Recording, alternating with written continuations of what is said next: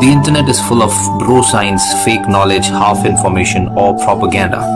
Your quest of reliable, authentic health information ends here. So subscribe this channel and hit the bell icon and you never have to go anywhere else ever again. Hello everyone how are you today I am doctor Paramjeet और आप देख रहे हैं doctor education और ये है कैसे बनेगी बॉडी देखिए अगर आपको बॉडी बनानी है तो आपको बहुत सारे वीडियो देखने चाहिए। हमारे कैसे बनेगी बॉडी पूरी सीरीज़ लास्ट टाइम मैंने आपको बताया था कि वार्म अप कैसे करनी है। आज हम बात करेंगे स्ट्रेचिंग के बारे में। जी हाँ स्ट्रेचिंग के बारे में बताना भी ज़रूरी है और बहुत सारे लोग इसमें एक्चुअली पाएँगे कि वो, उन्हें पता ही नहीं था ये सब बातें स्ट्रेचिंग के बारे में। क्या आप जानते हैं? स्ट्रेचिंग डायनेमिक होती है स्टैटिक होती है, कब करनी चाहिए, कब नहीं करनी चाहिए, किसको करनी चाहिए, कितने देर करनी चाहिए you have no idea right so stretching के बारे में ये सब बेसिक आपको बताना ज़रूरी है। कई लोगों ने आपको बताया होगा और शायद आप ये मानते होंगे कि स्ट्रेचिंग से या रेगुलर स्ट्रेचिंग करने के बगैर आप एक्सरसाइज नहीं करनी चाहिए। या फिर अगर आपने एक्सरसाइज से पहले स्ट्रेचिंग नहीं करी तो इंजरीज हो जाएँगी इंजरी के चांसेस बढ़ जाएँगे। या रेगुलर स्ट्रेचिंग नहीं करते हैं तो और स्ट्रेचिंग करनी भी है तो खींच के रखिए स्ट्रेचिंग को पकड़ के रखिए कुछ देर तक, लंबे समय तक। तो क्या है इसमें एक्चुअल सच्चाई ट्रुथ साइंटिफिक बेसिस क्या है प्रूफ रिटर्न एक्सपेरिमेंटल प्रूफ क्या है कि स्ट्रेचिंग कितनी होनी चाहिए, कैसी होनी चाहिए? आज हम बात करेंगे। सो लेट स्टार्ट देखिए दोस्तों एक्चुअली में स्ट्रेचिंग का उद्देश्य बॉडी बिल्डिंग नहीं है। स्ट्रेचिंग का उद्देश्य हेल्थ भी नहीं है। स्ट्रेचिंग का उद्देश्य है फ्लेक्सिबिलिटी जी हाँ सिर्फ़ फ्लेक्सिबिलिटी बॉडी में रेगुलर स्ट्रेचिंग से आपकी फ्लेक्सिबिलिटी बढ़ती है, जो कि सबके लिए ज़रूरी है।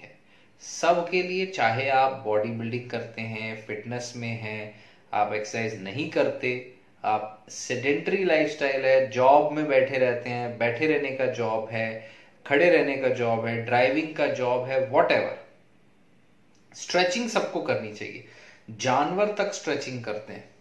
सबने देखा है। सो so, स्ट्रेचिंग क्यों?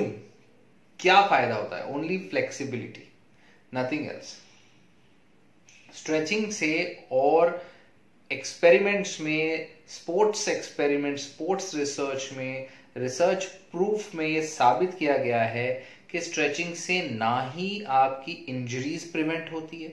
स्ट्रेचिंग से ऐसा नहीं कि आप स्ट्रेचिंग करके दे तो जो मर्ज़ी जैसे मर्ज़ी उठा लोगे इंजरी नहीं होगी होगी। सो so, स्ट्रेचिंग से इंजरी प्रिवेंट नहीं होती। स्ट्रेचिंग से ना ही पोस्ट वर्कआउट मसल सोरनेस कम होती है उतनी ही होगी। ना ही रिकवरी फास्ट होती है, बिल्कुल नहीं। स्ट्रेचिंग से ना ही आपकी परफॉर्मेंस बढ़ती है, बिल्कुल नहीं। स्ट्रेचिंग से ये सब नहीं होता। स्ट्रेचिंग से सिर्फ़ आपकी फ्लेक्सिबिलिटी बढ़ती है और स्ट्रेचिंग से 10 गुना ज़्यादा ज़रूरी है प्लेन सिंपल वार्म अप बल्कि वार्म अप में कई लोग स्ट्रेचिंग करते हैं, उन्हें पता ही नहीं होता। तो क्योंकि स्ट्रेचिंग के अपने प्रकार हैं, ठीक है? और स्ट्रेचिंग दो प्रकार की होती है। एक होती है स्टैटिक स्ट्रेचिंग और एक होती है डायनामिक स्ट्रेचिंग स्टैटिक स्ट्रेचिंग का मतलब है कि आप किसी भी एक पर्टिकुलर मसल ग्रुप को, मान लीजिए आप कोई एक मसल ग्रुप ले रहे हैं, उस मसल ग्रुप को, जैसे कि शोल्डर जॉइंट का मसल ग्रुप है, इस मसल ग्रुप को हमने स्ट्रेच करना शुरू किया और हम इसे एक पर्टिकुलर पोजीशन में स्ट्रेच कर रहे हैं और इसे पकड़ के रख रहे हैं। तो ये पकड़ के इसे रखा स्ट्रेच करके रखा for 15 second 10 second one minute इसे स्टैटिक क्योंकि रुका हुआ है, इसलिए स्टैटिक स्ट्रेचिंग कहते हैं। और दूसरे प्रकार की स्ट्रेचिंग है डायनामिक स्ट्रेचिंग डायनामिक स्ट्रेचिंग में जो हम इसे हिला के करते हैं, जो हम हाथ हिला के, ये करके, वो करके, ये है डायनामिक स्ट्रेचिंग राइट जो ज़्यादातर लोग करते हुए दिखते हैं आपको डायनामिक स्टैटिक का मिक्सचर करते हुए दिखते हैं। उन्हें पता नहीं है कि कब कौन सी करनी है। डायनामिक स्ट्रेचिंग का मतलब होता है कि आप जो भी एक्सरसाइज करने वाले हैं जो भी वर्कआउट करने वाले हैं उस वर्कआउट को बहुत ही लाइट वेट पे या बिना वेट पे पहले करें ताकि वो मसल्स जो हैं उस मसल ग्रुप का डायनेमिक वर्कआउट हो जाए। एक मूव हो जाए एक सिंपल वहाँ का जो फ्लो है वो खुल जाए। कोई भी स्टिफनेस है वो वीकनेस निकल जाए। सो so, वो डायनेमिक स्ट्रेचिंग है। अब बात आती है कि डायनेमिक कब करनी है स्टैटिक कब करनी है। पहली बात एक्सरसाइज के पहले क्या हमें स्ट्रेचिंग करनी चाहिए? नॉट नेसेसरी जी हाँ प्रूफ है रिसर्च में कि आप खुद जाके देख सकते हैं पबमेड में या कई भी कोई रिलायबल वेबसाइट में उल्टी सीधी वेबसाइट्स में नहीं, कि एक्चुअली में एक्सरसाइज से पहले all you need to do is dynamic movement dynamic movement वो भी for warm up warm up बहुत ज़रूरी है स्ट्रेचिंग नहीं अगर आप एक्सरसाइज से पहले स्टैटिक स्ट्रेचिंग कर रहे हैं, मान लीजिए आप कोई भी मसल ग्रुप की आपने खींच के उसे रख लिया और 15 सेकंड 10 सेकंड 20 सेकंड 30 सेकंड एक मिनट स्ट्रेचिंग कर रहे ये स्ट्रेचिंग वो स्ट्रेचिंग उससे बल के आपकी परफॉर्मेंस कम हो सकती जी हाँ ये देखा गया है रनिंग्स में, या जो लोग एक परफॉर्मेंस वेट लिफ्टर्स हैं, या कोई पर्टिकुलर चीज़ करते हैं तो वो परफॉर्मेंस के पहले अगर वो स्टैटिक स्ट्रेचिंग करते हैं तो उनकी परफॉर्मेंस कम हो सकती है विच इज़ एट्रीब्यूटेड कि वो उस समय जब स्टैटिक स्ट्रेचिंग कर रहे हैं तो वो अपना ताकत, कुछ प्रकार की ताकत वहाँ लगा रहे हैं, क्योंकि वो अपने आप को खींच के रख रहे हैं, इसलिए। तो इसलिए एक्सरसाइज के पहले स्टैटिक स्ट्रेचिंग नहीं करनी। Dynamic stretching on the other hand करनी चाहिए। एक से दो सेट आपको लाइट वेट की कोई भी जो भी एक्सरसाइज कर रहे हैं, उसको लाइट वेट में करना चाहिए। बिल्कुल लाइट वेट या नो नो वेट के, ताकि वो मसल ग्रुप थोड़ी रिलैक्स हो जाए, खुल जाए, ताकि आप उससे एक्सरसाइज कर सको। और उससे उससे ज़रूर आपकी वर्कआउट प्रॉपर होती है। और एक, उससे भी ऐसा नहीं है कि इंजरीज प्रिवेंट होती है। वार्म एक whole is important this warm up is important ठीक है? उससे आपकी मसल ग्रुप्स प्रॉपरली खुलेंगी और मसल जो जर्क्स होते हैं या मसल के अंदर जो स्टिफनेस होता है, वो रिलैक्स हो जाएगी, आपका परफॉर्मेंस बढ़ेगा। So dynamic stretching is little important not static stretching exercise के पहले। यही चीज़ उल्टी हो जाती है एक्सरसाइज के बाद। जी हाँ एक्सरसाइज के बाद आपको स्टैटिक स्ट्रेचिंग करनी है, वो सबसे अच्छा समय है स्टैटिक वाली स्ट्रेचिंग करने के लिए, क्योंकि अब एक्सरसाइज होगी। अब डायनेमिक स्ट्रेचिंग करने का कोई मतलब नहीं। अब ऑलरेडी आपकी मसल में ब्लड फ्लो जा चुका है। ऑलरेडी मसल जो है फुल रेंज ऑफ़ मोशन पे अच्छे से काम कर चुकी है। तो अब आपको क्या करना है? मसल को डायनेमिक की जगह स्टैटिक स्ट्रेचिंग करनी है कि अब उसको आप खींच के रखिए। अब उसे खींच के रखिए। डायनेमिक स्ट्रेचिंग के बाद स्ट्रेचिंग स्टैटिक स्ट्रेचिंग के लिए मिनिमम टाइम होना चाहिए 15 सेकंड से 30 सेकंड ऐसा नहीं कि खींच के रखा वन टू थ्री हो गया। 15 सेकंड कम से कम 30 सेकंड कम से कम उसको वहाँ खींच के रखना है। तब जाके इफ़ेक्ट आएगा स्टैटिक स्ट्रेचिंग का फ्लेक्सिबिलिटी पे। कई लोग कहते हैं भाई मैं रेगुलर बॉडी बिल्डिंग करता हूँ और कुछ महीनों के बाद हिल ही नहीं पाते। खाना भी मुँह तक नहीं जाता कईयों के राइट तो वो बहुत अजीब बात है but that is the truth क्योंकि उनकी फ्लेक्सिबिलिटी कुछ नहीं रह जाती। सो so, फ्लेक्सिबिलिटी रखना है तो दैट इज़ इंपॉर्टेंट एक स्टैटिक स्ट्रेचिंग पोस्ट वर्कआउट पाँच से दस सेकेंड बस दस मिनट के लिए, पाँच दस मिनट के लिए आपको करनी चाहिए। चलो, ये तो बात हुई बॉडी बिल्डर्स की फ्लेक्सिबिलिटी के लिए। एक नॉर्मल इंसान ने अपनी लाइफ में भी स्ट्रेचिंग बहुत ज़रूरी है डेली लाइफ में। मतलब चाहे आप सुबह उठ के कर लें, चाहे सोने के बाद कर लें, चाहे आप अपने जॉब के बीच में कर लें। आपका जॉब बैठने का है टीचर है, आपका सिटिंग जॉब है क्लर्क है, कुछ भी है आप।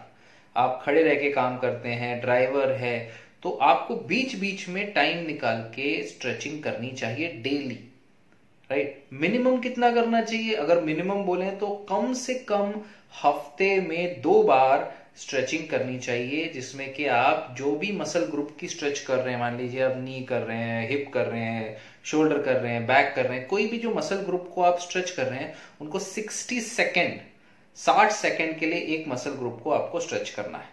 इतना हफ़्ते में दो बार ज़रूरी करना चाहिए ताकि आपको लंबे समय में muscular spasm muscle injuries muscle क्योंकि पोस्चरल प्रॉब्लम फ्लेक्सिबिलिटी मेंटेन रहे ये सबसे ज़रूरी है।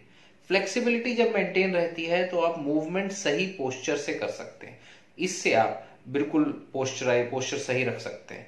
सो so, आपको सबको करनी चाहिए।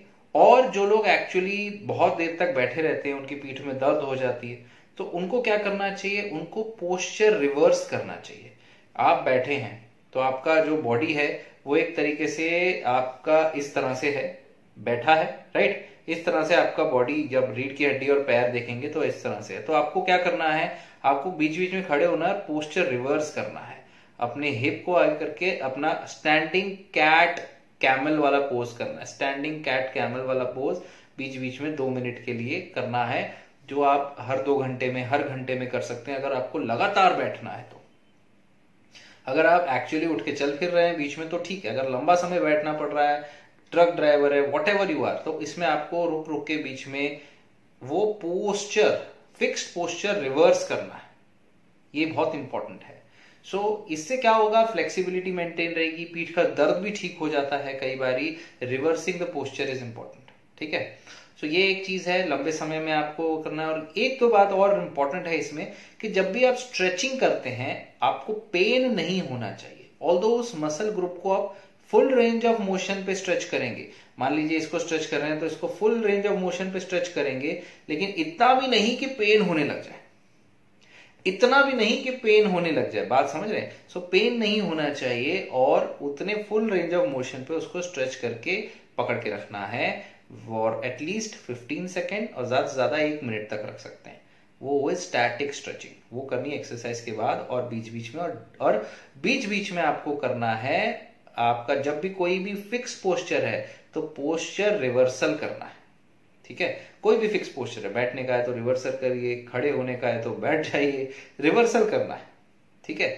So that is all about stretching stretching के ऊपर इससे ज़्यादा बताने वाली कोई भी चीज़ नहीं है। आप खुद जाके रिसर्च कर सकते हैं कि स्ट्रेचिंग से ना तो इंजरी प्रिवेंट होती है, ना रिकवरी ना परफॉर्मेंस बढ़ता है, ये है सच्चाई।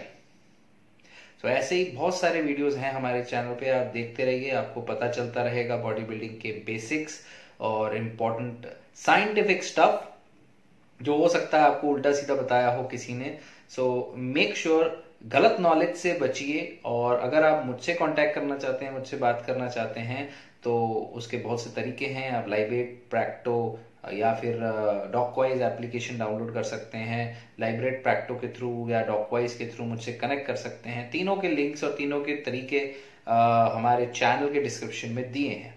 सो so, दोस्तों मैं हूँ डॉक्टर परमजीत आप देख रहे हैं डॉक्टर एजुकेशन देखते रहिए ये चैनल शेयर करना मत भूलिए।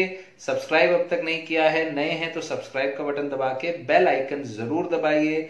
हम रोज लाइव आते हैं। इस चैनल पर भी एफएक्यू चैनल भी है हमारा एक डॉक्टर एजुकेशन FAQ चैनल उसमें भी और इंस्टाग्राम पे भी। तीनों जगह मुझे फॉलो ज़रूर करिए ताकि आप लाइव अपने क्वेश्चन आंसर्स पा सकें क्वेश्चन के आंसर्स तो इस मौके का फ़ायदा उठाइए जुड़े रहिए। Stay connected to stay healthy